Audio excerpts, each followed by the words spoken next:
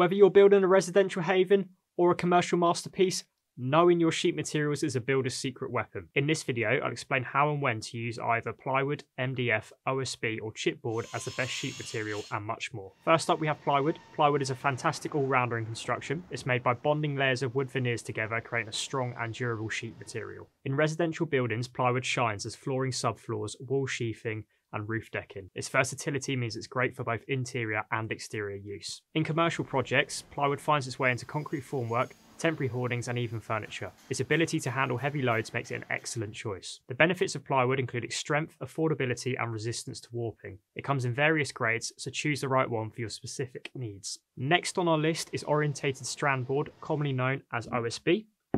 OSB is similar to plywood, but instead of veneers, it's made by compressing wood strands and adhesive together. Residentially, OSB is a hit as roof sheathing, wall panels, and subflooring.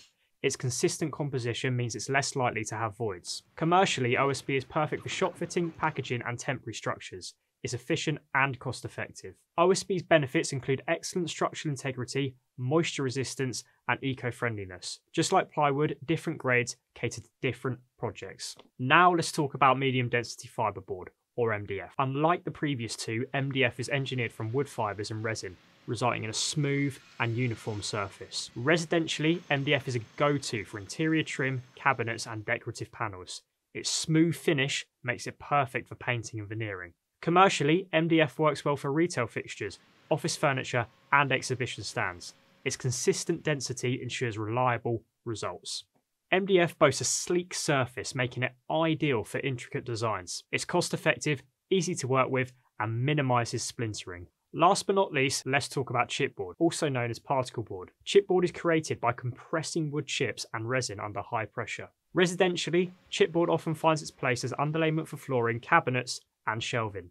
It's budget friendly and it gets the job done. Commercially, chipboard is used for temporary structures, modular furniture, and packaging.